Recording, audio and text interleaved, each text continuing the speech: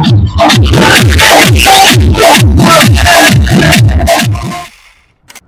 guys welcome back to our new video guys आज के इस वीडियो को आप लास्ट तक देखना क्योंकि आज मैं आपको बताने वाला हूँ कि अगर आपके पास किसी भी साइज़ का स्पीकर है या कितने भी वॉट का स्पीकर है, उसका कैबिनेट हम कितने मेज़रमेंट पर हम बना सकते हैं? ये टॉपिक काफ़ी इजी है पर काफ़ी हार्ड भी क्योंकि काफ़ी लोगों को पता नहीं है किस स्पीकर के लिए कितने इंची का हमें बोर्ड लेना होगा या कितने एम mm का बोर्ड लेना पड़ेगा या हम इसे कैसे बना सकते हैं। ये पूरा आज मैं आपको इस वीडियो पर बताने वाला हूँ तो बस आप इस वीडियो को लाइक कर देना, साथ ही चैनल पर चैनल को सब्सक्राइब भी कर देना। तो चलो शुरू करते हैं।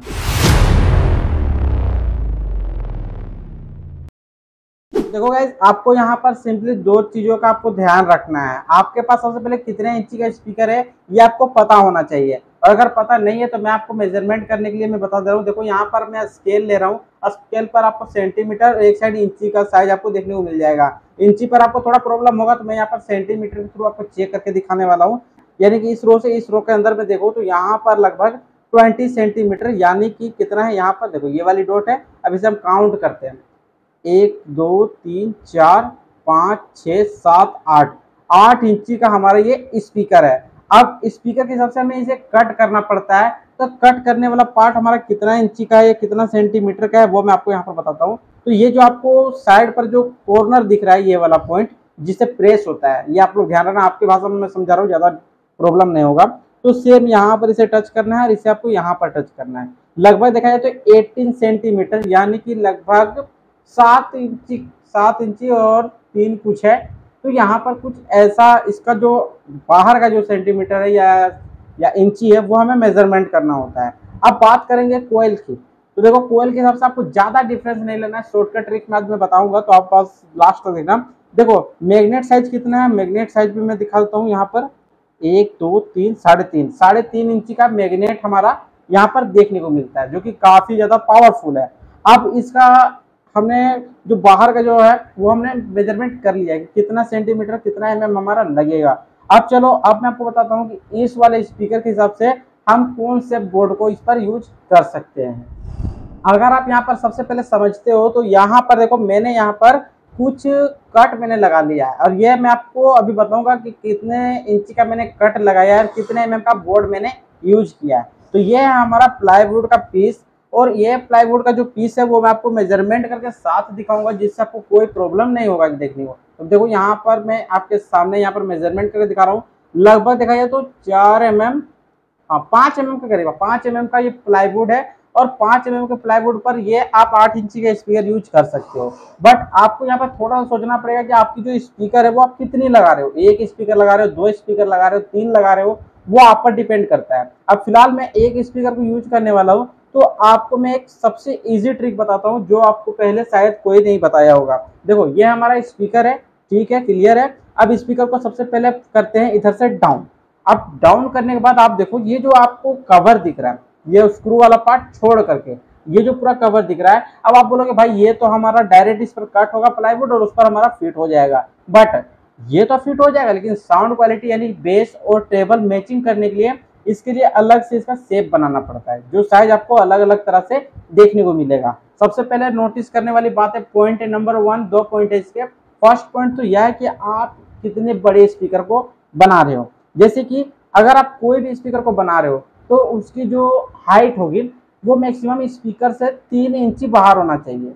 यानी कि ये जो हमारा स्पीकर है ये इंच, इंच हमारा आठ इंची का है तो आठ इंची में से समझ लो कि आपको कम से कम तीन इंची बाहर रखना, निकलना, निकालना होगा चारों तरफ़ से, यानी लेफ़्ट राइट और बॉटम और टॉप का। ये आपको क्लियर होना चाहिए। और जब ये कंप्लीट हो जाएगा तो आप आप बोलोगे, भाई डिप कितनी होनी चाहिए? यानी कि इसकी चौड़ाई कितनी ज़्यादा होनी चाहिए। तो चौड़ाई समझ लो कि अगर आप इसे, जैसे कि ये आठ इंची है, ठीक है? आठ इंची में हमने तीन इंची को ऐड किया, हो गया यहाँ पर कितना? ग्यारह इंची। अब 11 इंची ये है तो समझ लो कि इसका जो आपको डेप्थ निकालना पड़ेगा, यानी कि चौड़ाई निकालना पड़ेगा, या जो आप समझ सकते हो, वो आपकी कम से कम तेरह इंची की होनी चाहिए, यानी दो इंची उस पर भी बढ़ा दो। इससे क्या होगा जितना बड़ा स्पेस होगा, उतना आपको यहाँ पर साउंड क्वालिटी देखने को मिलेगा। अब तो आपने यहाँ पर फ़िज़िकल देख लिया, बाहर से देख लिया, किस तरीके से करना है, आप, मैं आपको सिखाऊँगा कि इसका बोर्ड जो है वो कैसे बनाते हैं, क्योंकि इसका सर्कल कट करना है और इस पर कुछ और सामान भी लगाने हैं, वो भी मैं आपको बताऊँगा। चलो, उसे भी देखते हैं। स्पीकर के साइज़ के हिसाब से आपको सबसे पहले फ्रंट पैनल को कट करना पड़ेगा। अब यहाँ पर फ्रंट पैनल हमारा कौन सा है, उसे मैं यहाँ पर अलग कर लेता हूँ, जो कि सबसे नीचे में मैंने रखा हुआ है। हाँ ये वाला देखो, ये जो साइज़ है, ये आप तो दो तरह से स्पीकर को बना सकते हो। फ़र्स्ट तो आप एक स्क्वायर शेप का बना सकते हो और दूसरा, आगे से स्क्वायर में होना चाहिए, पीछे में छोटा सा स्क्वायर होना चाहिए। एक समझ लो कि होल टाइप से होना चाहिए, जैसे होल को आप देखते हो ना, आगे में आपको बड़ा दिखता है पीछे के साइड पर आपको छोटा दिखता है। सेम वो शेप पर आप बना सकते हो। तो यहाँ पर मैं जो स्पीकर ये बनाने वाला हूँ, ये कुछ होल टाइप सा होने वाला है, पूरी तरह स्क्वायर नहीं होने वाला है स्क्वायर साइज़ पर नहीं होगा तो वो आपको थोड़ा डिसाइड करना होगा। अब देखो, यहाँ पर मैंने कुछ मार्किंग मैंने कर लिया है और ये मार्किंग के हिसाब से ही कट करना है। अब मार्किंग आपको शायद थोड़ा थोड़ा दिख रहा होगा, वो आप लोग थोड़ा सा देख लेना। अभी मैंने आपको शुरू में स्पीकर को चेक करके दिखाया था तो आठ इंची का हमारा स्पीकर पड़ रहा था। तो यहाँ पर देखो, मैं आपको इसका जो इंची है वो मेज़रमेंट करके दिखाता हूँ कितना इंची यहाँ पर है। देखो, इस डॉट से मैंने चालू किया और यहाँ पर मैंने मार्क लगा दिया था आठ इंची के हिसाब से, यानी ट्वेंटी सेंटीमीटर का। तो यहाँ पर देखो, आठ इंची का पहले बाहर का आपको सर्कल बनाना है, जो कि कंपास के थ्रू आप इसे बना सकते हो। सेकेंड हमारा, ये हमारा कितना था? लगभग सात इंची और कुछ इंच सेंटीमीटर के हिसाब से था। सेंटीमीटर का हमारा अठारह सेंटीमीटर है। तो देखो, मैं सेंटीमीटर आपको यहाँ पर मेज़रमेंट करके दिखाता हूँ। यहाँ पर देखो, ये मैंने यहाँ पर लगाया।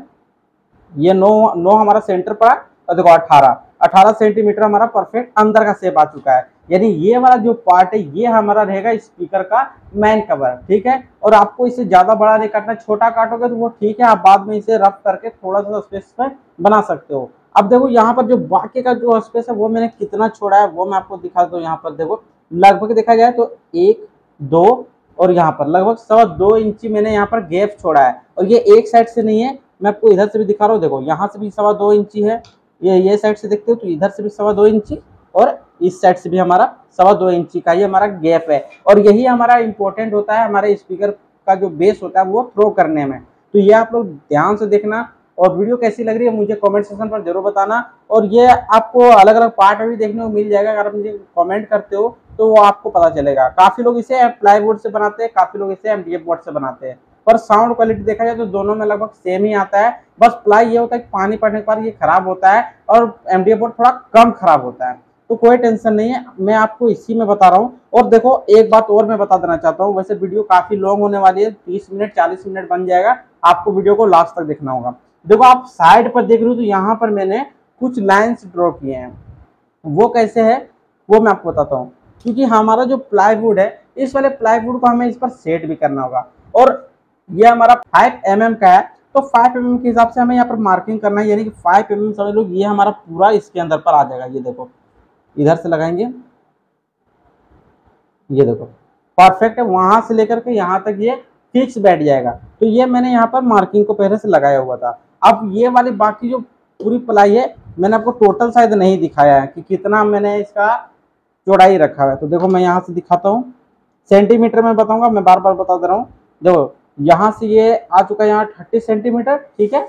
लगभग यहाँ पर, और यहाँ से थोड़ा सा मेज़रमेंट कर लेते हैं हल्का सा तो लगभग यहाँ पर साढ़े तीन, यानी कि लगभग देखा जाए तैतीस दशमलव कुछ तीन या चार के करीब मैंने यहाँ पर इसे प्लाईवुड को स्क्वायर में कट किया है। ये क्लियर हो चुका है। अब इसका जो साइड जो कॉर्नर रहेगा लेफ़्ट राइट और टॉप और बॉटम का जो रहेगा, ऊपर, नीचे, दाया, बाया का, उसका साइज़ मैं आपको बता देता हूँ। तीस है, और यहाँ से भी लगभग देखा जाए तो सेम ही है। मतलब तैतीस दशमलव कुछ है और इसका जो चौड़ाई है वो यहाँ पर लगभग देखो तीस सेंटीमीटर, यानी कि बारह इंची का हमारा ये फिक्स बैठ चुका है। बारह इंची का हमारा एक, दो, तीन और ये एक चार। चार जो प्लाईवुड हमारे आएँगे, ये हमारे होंगे तीस इंची के। अब यहाँ पर देखो दो मैंने इस तरीके के छोटे छोटे मार्क भी मैंने लगाया है और उसे मैंने यहाँ पर देखो ट्विटर के लिए मैंने यूज़ किया है। ये ट्विटर हमारा 200 वाट का है, एक 200 वाट है, दूसरा भी 200 वाट है। वैसे 400 वाट का ये हो गया और लगभग 50 से अस्सी वाट का हमारा ये स्पीकर है, लगभग 500 वाटेज का हमारा ये स्पीकर पैक बनने वाला है। स्पीकर का साउंड क्वालिटी काफ़ी अच्छा होगा। अगर आप इस वीडियो पर कमेंट कर देते हो कि भाई इसे चलाने के लिए एक मशीन बना करके दिखा दो तो आपका काफ़ी ज़्यादा हेल्प मतलब हेल्प हो जाएगा। तो अब आप नीचे कमेंट करना, मैं उस पर भी जल्दी वीडियो बना दूँगा। अब ये दोनों के लिए हिसाब से मैंने यहाँ पर तीन तीन इंची के दो इस तरीके के मार्क कर लिए हैं, जो मुझे ड्रिल की मशीन से इसे कट करना पड़ेगा। तो चलो, अब सबसे पहले इसे यहाँ से कट करते हैं, यहाँ पर भी दो होल करते हैं, और उसके बाद आगे का काम सीखते हैं। अब आप लोग यहाँ पर देखो, इसे मैंने कट कर लिया, और कटिंग भी देखो, मैंने काफ़ी अच्छी तरह से किया हुआ है। थोड़ा सा गैप आपको ज़्यादा देखने को मिलेगा, अभी मैं जब स्पीकर को फिट करूँगा, लेकिन उससे पहले हमें इसका पूरा कैबिनेट आप कंप्लीट करना होगा। तो आगे का जो पैनल है, वो हमारा कंप्लीट हो चुका है। अब इसके लेफ़्ट, राइट और पीछे का जो पार्ट है, वो उस वाले को भी हमें लगाना पड़ेगा। अगर इस जगह पर देखो, कहाँ पर गया पैनल हमारा? अच्छा है ये वाला पैनल है, देखो। अगर आप यहाँ पर ध्यान से देखो तो आपको इस जगह पर नंबर फोर देखने को मिल जाएगा और इस वाले पॉइंट पर आपको कुछ भी देखने को नहीं मिलेगा। लेकिन पैनल नंबर वन है, यहाँ पर मैंने डॉट एक लगा दिया, यहाँ पर देख सकते हो। यह पैनल नंबर वन है, पैनल नंबर टू हमारा आ जाता है ये वाला।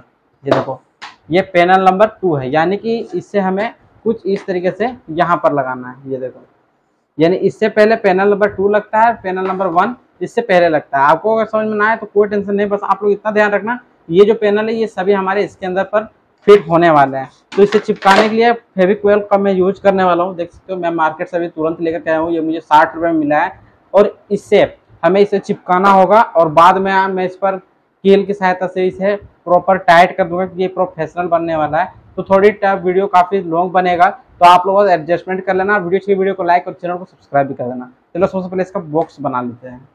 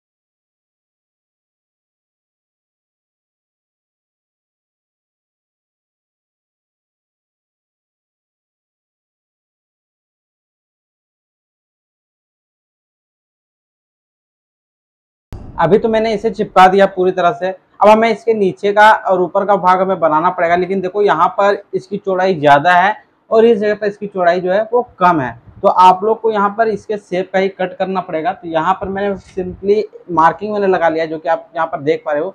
इस जगह पर आपको छोटा लाइन देखने को मिलेगा, इस साइड पर आपको बड़ा देखने को मिल जाएगा। सेम उसी तरीके से यहाँ पर भी है, इस जगह पर भी है। और ये हमारा नीचे का भाग है तो जब ये नीचे में कुछ इस तरीके से लग जाएगा और ऊपर में भी सेम लगेगा। तो मैंने सिंपल एक आपको दिखा दिया है। अब इसे हम यहाँ से कट करते हैं, इसके नीचे में चिपकाएँगे। और जो दूसरा पैनल है हमारा, या दूसरा वाला जो हमारा प्लाईवुड है, इसे हमें ऊपर के साइज़ का कट करना पड़ेगा। सबसे पहले नीचे वाले को कट करके इस पर चिपकाते हैं और फिर बड़े वाले को इसके ऊपर चिपकाते हैं। भाइयों, अब मैंने इसे पूरा एक दिन मैंने छोड़ दिया था, अब ये पूरा चिपक चुका है, लेकिन अभी भी ये पूरी तरह से टाइट नहीं है। तो हम यहाँ पर कुछ काम करने वाले हैं, जैसे देख सकते हो यहाँ पर मैंने कुछ होल किए हुए जो कि 0.5 पॉइंट mm में होल है। अब इसके हिसाब से हमें यहाँ पर जो कीले हैं, ये जो कील आप देख रहे हो, इन सभी को इसके ऊपर पर लगाना होगा। और इसे लगाने के लिए डायरेक्ट इसे मत लगाना, पहले ड्रिल मशीन से छेद कर लेना, क्योंकि अगर आप पतला ये प्लाई है, अगर आप डायरेक्ट इसमें हिट करते हो तो ये प्लाई जो है, ये फट जाएगा। आप यहाँ पर ग्लू का यूज़ कर सकते हो साथ में ग्लू को थोड़ा सा लगाना है और उसके बाद इस पर नेल को जो काटी है, उसे आपको यहाँ पर लगा देना है। तो मैं इसे पूरा लगा लेता हूँ।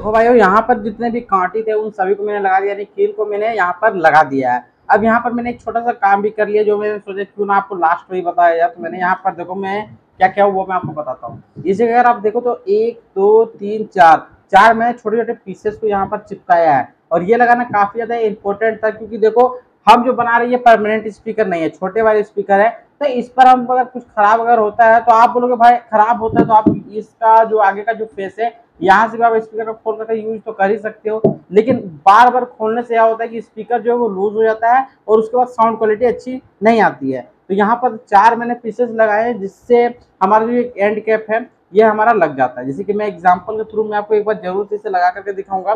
जैसे कि आप देखो ये किस तरीके से लगेगा यहाँ पर, ये देखो, यहाँ पर फिट हो चुका है। अब यहाँ पर थोड़ा सा प्रेस करते हैं धीरे से और ये हो जाएगा फिक्स ये देखो परफेक्ट पूरी तरह से यहाँ पर ये फिक्स हो जाता है। तो ये हमारा कुछ इस तरीके से बन जाता है। अब इसके आगे का काम हमें करना है क्योंकि हम बना रहे थोड़ा प्रोफेशनल टाइप का यानी ओरिजिनल जो बेस वाले टावर होते हैं या बेस स्पीकर होते हैं, उसके हिसाब से ये चलने वाला है। वीडियो काफ़ी लॉन्ग बनने वाली है, मैं पहले बता दे रहा हूँ, आप बिल्कुल भी वीडियो को स्किप मत करना, अगर स्किप करते हो इन्फॉर्मेशन छूटेगा और आप इसे फिर अच्छे खासे यूज़ नहीं कर पाओगे। अब इसे थोड़ा इस तरीके से यहाँ पर रखेंगे। अब हमें लेना होगा दो इस तरीके के प्लाई के पीसेस और ये आपको लेना ही है क्योंकि इससे हमारा प्रोफेशनल टाइप से बन जाता है। जैसे कि आपको पता है कि स्पीकर के आगे में जाली लगती है और जाली को लगाने के लिए मैंने यहाँ पर कुछ ऐसे पीसेस को कट किया है।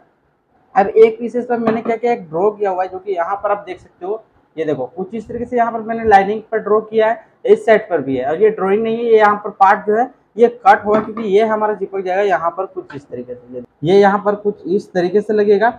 इससे यह होगा कि हम जब भी इसे यूज़ करेंगे तो यहाँ पर जाली जो है वो फिक्स हो जाएगा। एक हमारा ऊपर में लगेगा, एक हमारा नीचे में लगेगा। और साथ ही, ये तो लगने के बाद नीचे पर भी दो पत्ती यहाँ पर चिपकाएँगे, यानी दो प्लाई चिपकाएँगे, जिससे ये स्पीकर एक जगह पर रुक सके। तो चलो, ये सभी मैं करता हूँ, और इसके आगे फिर हम स्टार्ट करेंगे। इससे अगर पेंट करना होगा या इसका जो कवर होता है, वो अगर लगाना होगा तो मैं आपको आगे बताऊँगा। वीडियो स्किप मत करो, मैं आपको बताता रहूँगा वीडियो में। तो देख लो भाइयों मैंने इतना काम कर लिया जो कि आपको शॉर्ट ट्रिक से मैंने सोचा क्यों ना आपको बताया जाए। देखो यहाँ पर मैंने एक दो तो, तीन चार चार पीसेस मैंने अलग से लगाए हैं और मैंने आपको अभी अभी तो बताया कि ये दोनों को चिपकाना था। मतलब तो पूरी तरह से टाइट होने में से थोड़ा सा तो टाइम लगता है तो मैंने यहाँ पर एक एक दिन का पूरा गैप दिया जिससे ये काफ़ी अच्छा बन जाएगा। अब नीचे में देखो तो यहाँ पर भी आपको देखने को मिल जाएगा चार नीचे में मैंने इस तरीके के प्लाई के छोटे छोटे पीस मैंने लगाए हैं जिससे अगर पानी इसके नीचे जाता है तो ये खराब नहीं होगा प्लाईवुड काफ़ी अच्छा रहेगा। अब इसके आगे का काम हमें करना है, वो क्या है कि हमें इस पर पेंट करना है और इसका नेट बनाना है, यानी कि जाली बनाना है। अब देखो, जाली बनाने के लिए सिंपल सा ट्रिक हम यहाँ पर यूज़ करने वाले हैं। नॉर्मली सा जाली हम यूज़ कर रहे थे। देखो, ये वाली जाली।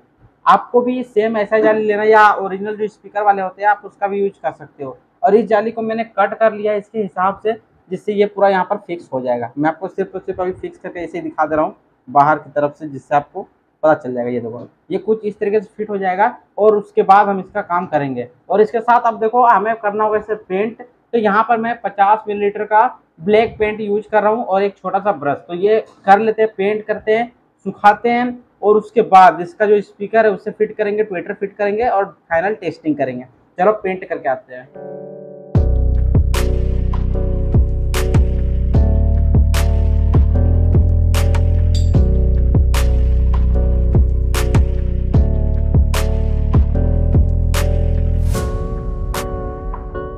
अब मैंने इसे पूरा सुखा लिया है, मैंने नहीं, धूप ने सुखाया है। तो ये हमारा कंप्लीट हो चुका है। 80 परसेंट काम हमारा कंप्लीट हुआ है। अब इसके आगे काम करेंगे, वो क्या है? डायरेक्ट हम स्पीकर को इस पर फिट करने वाले देखो, जाली को मैंने पेंट किया, जाली को पहले साइड रखते हैं। ये ऊपर का कवर है, अभी फ़िलहाल इसे भी हम साइड रखते हैं। क्योंकि जो हमारा मेन काम पड़ने वाला है, वो हमारे स्पीकर में पड़ने वाला है। तो जस्ट इसे सबसे पहले तो इधर से डाउन कर देते हैं। जैसा कि आपको यहाँ पर दिख पा रहा है, ये देखो। यहाँ पर अब हमें लगाना होगा स्पीकर ये दोनों जो ट्विटर आप देख रहे हो ये 200 वॉटेज के तो आप इसमें एक काम कर सकते हो, आप इसमें एम्पलीफायर को यूज़ कर सकते हो, या आप इसमें जो मॉड्यूल वाले जो एम्पलीफायर होते हैं, आप उसका यूज़ कर सकते हो। लेकिन इस पर एक प्रॉब्लम हमें देखने को मिलता है। क्या है, मैं शुरू में बता देता हूँ। आप लोग को चॉइस करना है, इसलिए मैं आपको बता रहा हूँ। अगर आप ट्विटर लगा रहे हो तो ट्विटर के हिसाब से आपको क्लास डी वाले एम्पलीफायर्स बिल्कुल भी यूज़ नहीं करने जैसे मॉड्यूल वाले जो होते हैं, उन सभी को बिल्कुल भी यूज़ नहीं करना है। इससे यह होगा कि ट्विटर तो चलेगा नहीं और लोड काफ़ी ज़्यादा पड़ने की वजह से ये खराब हो जाएगा। और स्पीकर की बात करें तो स्पीकर को आप क्लास डी एम्पलीफायर से अच्छी तरह से ऑपरेट कर पाओगे, यानी मोडियो वाले एम्पलीफायर से अच्छी तरह से यूज़ कर पाओगे। और इसीलिए मैंने सोचा क्यों ना कि इस पर कोई एम्पलीफायर बोर्ड नहीं लगाते हैं, क्योंकि क्लास टी वाले एम्पलीफायर पर देखो साउंड क्वालिटी काफ़ी अच्छा आता है बट ट्रांजिस्टर वाले होते हैं या आईसी वाले होते हैं, उस पर आपको साउंड क्वालिटी बेस्ट देखने को तो नहीं मिलेगा। हाँ लेकिन उस पर ये ट्विटर ज़रूर काम कर जाएँगे। तो इसलिए मैंने सोचा क्यों ना ये डायरेक्ट कनेक्शन चल जाएगा। तो यहाँ पर क्या करेंगे ट्विटर जो हमारा है, ये ट्विटर को हम यहाँ पर कुछ इस तरीके से लगा देंगे। ये लग गया। और ये जो हमारा स्पीकर है स्पीकर के पॉइंटेज आप देख लो, अभी मैं आपको कनेक्शन भी बताऊँगा। तो इसे हमें यहाँ पर कुछ इस तरीके से लगाना है। अब इसके जो स्क्रू है, उससे हमें इसे टाइट करना पड़ेगा। तो मैं फटाफट कर लेता हूँ।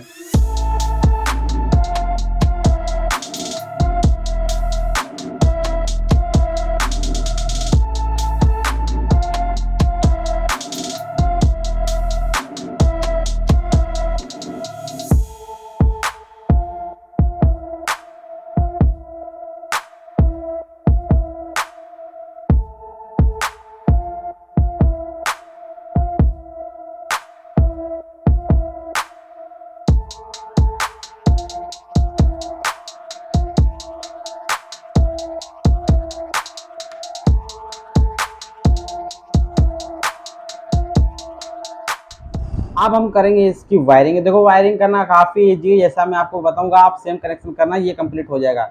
मैं थोड़ा सा यहाँ पर जूम कर ले रहा हूँ, जिससे आपको स्पीकर है और जो ट्विटर है, वो क्लियर से दिख पाए। ट्विटर पर आप जब भी कनेक्शन करो तो एक बात ध्यान रखना पॉजिटिव अलग होना चाहिए और नेगेटिव अलग होना चाहिए। यानी जब भी आप एम्पलीफायर से कनेक्ट कर रहे हो, या पावर सप्लाई जब दोगे तो जो इसके टर्मिनल्स हो गए वो पॉजिटिव को देखते हुए लगाना नेगेटिव को देखते हुए लगाना। वरना ट्विटर खराब हो जाते हैं बहुत ही जल्दी। अब काफ़ी लोग बोलते हैं, भाई, आप ट्विटर पर एक कैपेसिटर को यूज़ करो। तो ये वाला ट्विटर मेरा कैपेसिटर पहले से इस पर लगा हुआ है तो मैं यहाँ पर डबल नहीं लगाने वाला हूँ। अब देखो, दोनों ट्विटर के जो वायर है, इन दोनों वायर को हमें आपस में करना होगा शॉर्टेज यानी नेगेटिव को नेगेटिव के साथ और पॉजिटिव को पॉजिटिव के साथ। जैसा मैं कर रहा हूँ, आप लोग सेम कनेक्शन करना, देखो।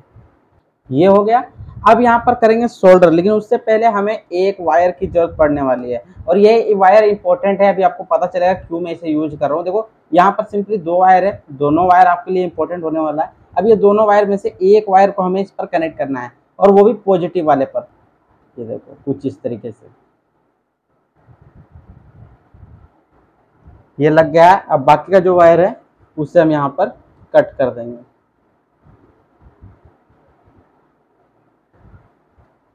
अब देखो, यहाँ पर हमारे पास तीन वायर है। एक तो नेगेटिव दूसरा पॉजिटिव और ये तीसरा भी पॉजिटिव अब ये क्यों है, वो मैं आपको बताता हूँ। उससे पहले जो ये कॉमन वाला वायर है, इसे यहाँ पर सोल्डर करते हैं। स्पीकर पर कोई भी पॉजिटिव नेगेटिव नहीं है तो यहाँ पर डायरेक्ट किसी पर भी सोल्डर कर सकते हैं। गाइस रुको रुको रुको। अभी आपको स्किप नहीं करना है। मुझे यहाँ पर एक थोड़ा सा काम और बताना था, जो मैंने बताना मैं भूल गया हूँ। देखो, यहाँ पर हमें एक्स्ट्रा वायर लेने जो कि मोटी वाली वायर होगी। और इस वाले वायर को सबसे पहले तो स्पीकर पर लगाना पड़ेगा तो यहाँ पर मैंने एक छोटा सा होल किया हुआ है, जिससे वायर को यहाँ पर इससे पास कर पाएँगे। मैं यहाँ से निकाल रहा हूँ वायर, ये देखो। तो ये यहाँ पर वायर आ गया है। अब इस वाले वायर में से, जैसे कि अभी हम कौन सा नेगेटिव वाले को लगाने वाले थे तो नेगेटिव वाले वायर को यहाँ पर इसे थोड़ा सा छोटा कर देंगे, हल्का सा। ये देखो। और इसके बाद हमारा जो नॉर्मल जो कॉमन वाला वायर था, उस पर हमें इस पर लगाना है।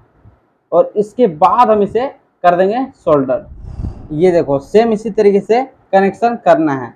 अब यहाँ पर जो हमने एक्स्ट्रा वायर जो लगाया था यहाँ पर इस वाले पॉइंट पर, देखो, ये जो आप देख रहे हो इस वाले पॉइंट पर, इन दोनों को भी हमें आपस में शॉर्ट करना है। तो डायरेक्ट क्या करेंगे कि इसे यहाँ पर तो कर लिए हैं इसे यहाँ पर शोल्डर पेस्ट लगा करके इसे शोल्डर कर देंगे। और इसे कनेक्शन नहीं करना है। आपको ये ध्यान में रखना है, इस वाले वायर को बिल्कुल भी शोल्डर मत करना है स्पीकर के पॉइंट पर ये अलग सा वायर चलो, मैं ये भी कर लेता हूँ। अब इसे यहाँ पर कर देंगे टेप से पैक क्योंकि ये शॉर्ट सर्किट नहीं होना चाहिए अंदर में स्पीकर में। तो यहाँ पर मैं पेपर टेप लगा रहा हूँ। बस आप लोग यहाँ पर इलेक्ट्रिक टेप का भी यूज़ कर सकते हो। अब ये हमारा हो गया कनेक्ट अब यहाँ पर देखो, अब लास्ट हमारा ये जो पूरा वायर है, दो पीस ये हमारा बचा हुआ है और इसमें से हमारा एक वायर बचा हुआ है। तो इस वाले वायर को और जो हमने अलग से जो मोटा वाला वायर लगाया था, इन दोनों को हमें एक साथ कनेक्ट करना है। और ये कनेक्ट करने के बाद इसका जो ये वाला वायर है, इस वाले वायर को हमें डायरेक्ट यहाँ पर स्पीकर के साथ कनेक्ट करना है।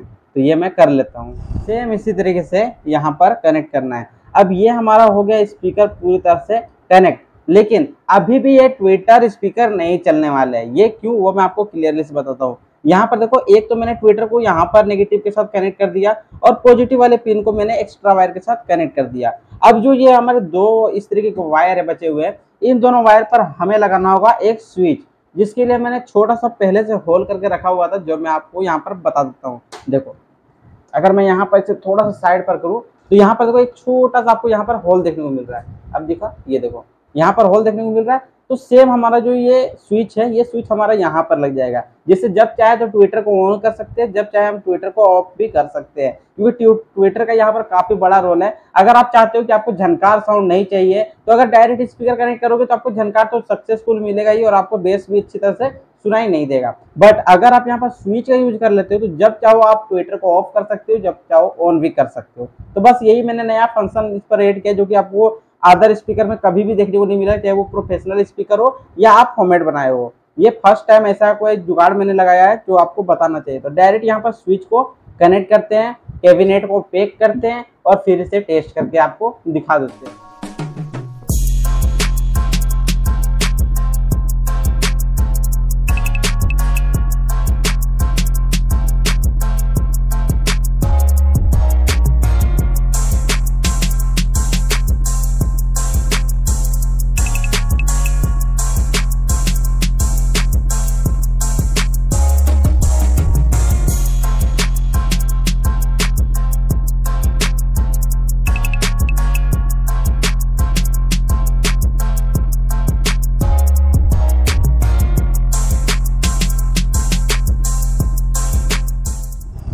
अब आप देख सकते हो कि हमारा जो स्पीकर है, वो बन करके पूरी तरह से कंप्लीट हो चुका है। अब मैं आपको इसे टेस्ट करके दिखाने वाला हूँ। टेस्टिंग के लिए मेरे पास अलग अलग दो एम्पलीफायर है, तीन एम्पलीफायर है, लेकिन आज मैं आपको सिर्फ़ दो ही एम्पलीफायर को टेस्ट करके दिखाऊँगा। तो मैं आपको दिखा देता हूँ सबसे पहले एम्पलीफायर हमारा कौन सा है। तो गैस यहाँ पर देखो, ये है हमारा एक डिजिटल वीडियो प्लेयर और इस पर मैंने एम्पलीफायर भी यूज़ किया है। अगर आपने नहीं देखा इसकी वीडियो तो जा करके चेकआउट एक बार ज़रूर से कर सकते हैं, क्योंकि इसकी पूरी टेस्टिंग और इसकी मेकिंग वीडियो मैंने पहले ही अपलोड कर दिया है। और ये चलता है हमारा 12 वोल्ट से तो मैं यहाँ पर इलेक्ट्रिक बोर्ड को यहीं पर पास में रखा हूँ। साथ ही हमारा जो स्पीकर है, ये भी है। ये 30 प्लस 30 वोल्टेज पर ये ऑपरेट होता है। इससे देखो ट्विटर नहीं चलेगा, मैंने आपको शुरू में बताया है। तो जस्ट इसे पॉजिटिव और नेगेटिव को इस पर हमें कनेक्ट करना है।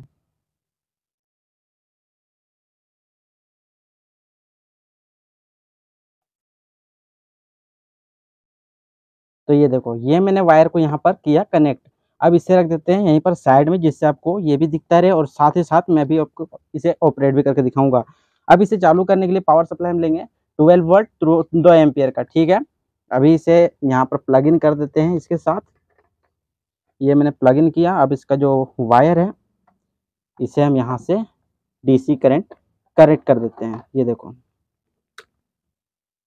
ये मैंने यहाँ पर चालू किया। इस पर लाइन आना स्टार्ट हो चुका है।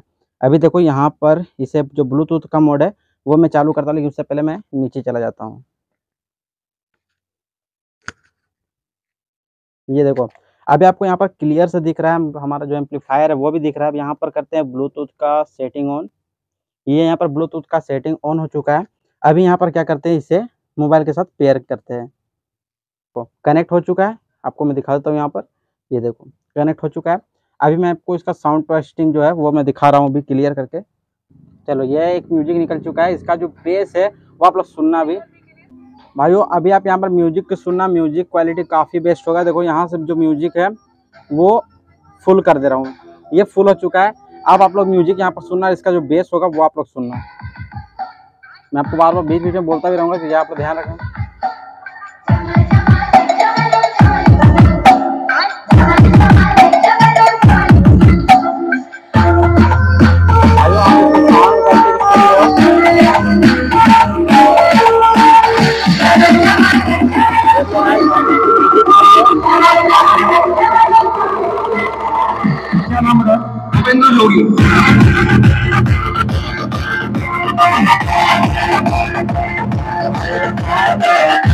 देखो गाइस यहाँ पर साउंड क्वालिटी जो वो एक नंबर है साउंड क्वालिटी काफ़ी अच्छी है जो कि मैं क्लास डी के एम्पलीफायर से, से यूज़ कर रहा हूँ। देखो ट्रेबल भी काम नहीं करेगा मैं स्विच को यहाँ से ऑन भी कर दूँ तो अभी आप लोग यहाँ पर इसकी साउंड क्वालिटी सुनना। मैं दूसरा म्यूज़िक लगा दे रहा हूँ।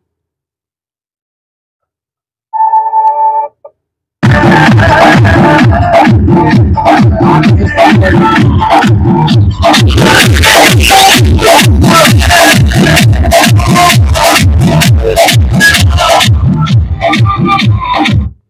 आपने इसका साउंड क्वालिटी सुन लिया है कि क्लास डी वाले एम्पलीफायर पर कैसा है? बेस क्वालिटी काफ़ी अच्छा मिलेगा बट ट्रेबल इसमें थोड़ा कम देखने को मिल जाता है तो वो आप लोग थोड़ा चेकआउट कर लेना। अभी देखो, मैं आपको अब जो प्रॉपर जो म्यूज़िक होते हैं वो मैं आपको सुनाता हूँ, जो नॉर्मल वाले होते हैं। देखो उस पर कॉपी भी आ सकता है म्यूट अगर हो जाएगा या स्किप हो जाएगा वीडियो तो वो आप लोग थोड़ा सा मैनेज कर लेना। मैं यहाँ पर म्यूज़िक को निकाल लेता हूँ सिर्फ़ देखो, आपके सामने मैं यहाँ पर चेक कर रहा हूँ। स्पीकर क्लियर दिखेगा कि नहीं दिखेगा, क्योंकि ये पूरी तरह से ब्लैक ये पेंट है। अभी यहाँ से निकालते हैं कोई चलो, ये एक ट्रेंडिंग सॉन्ग है कॉपीराइटर भी आ सकता है, वो आपके सामने चेकिंग होगा।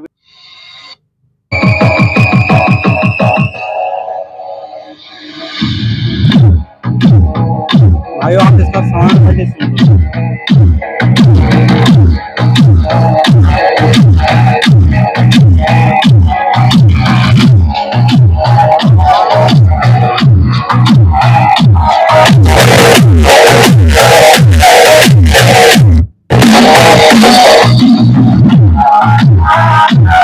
भाइयों, अभी आपने यहाँ पर सुना इसका जो साउंड क्वालिटी है वो काफ़ी अच्छा है। अब मैं यहाँ पर आपको सेकेंड एम्पलीफायर से यूज़ करके दिखाने वाला हूँ जो आईसी पर बेस्ट है।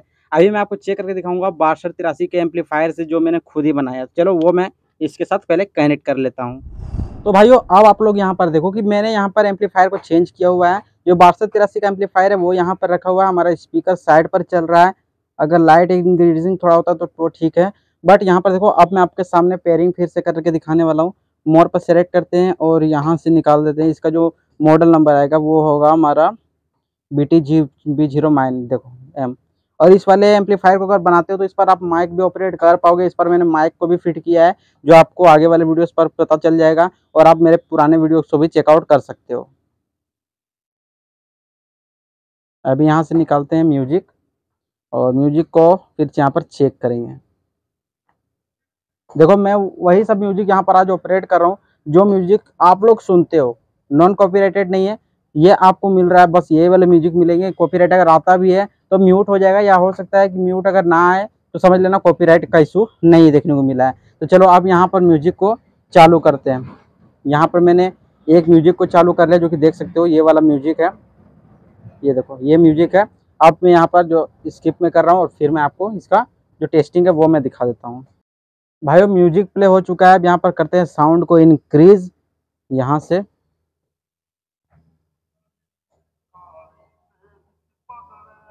यहाँ पर देखो म्यूज़िक जो है वो इंक्रीज हो चुका है ट्रेबल बेस को मतलब मिला लेते हैं, उसके बाद इसे चेक करते हैं।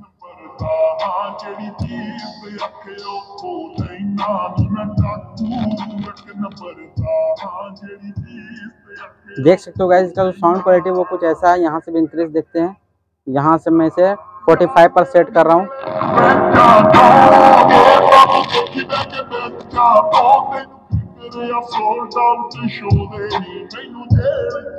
देख सकते हो गाइस इसका जो साउंड क्वालिटी है, वो कुछ इतना आता है एम्पलीफायर पर। आप साउंड को यहाँ पर कर रहे हैं म्यूट जो हमारे ट्विटर का है। अब आप इसकी साउंड क्वालिटी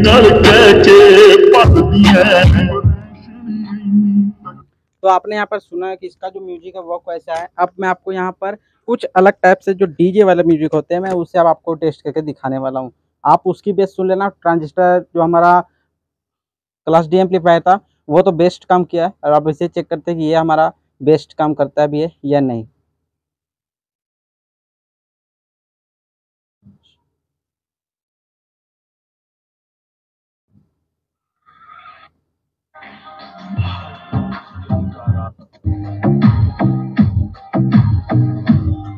आप इसे साउंड क्वालिटी सुन लो।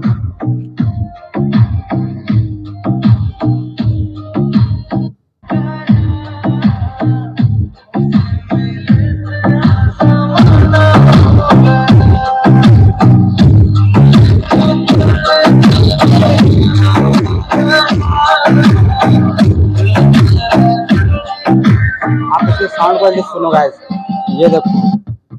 आप इसके पास बेस जो थ्रो है, वो आप सुनना ध्यान से।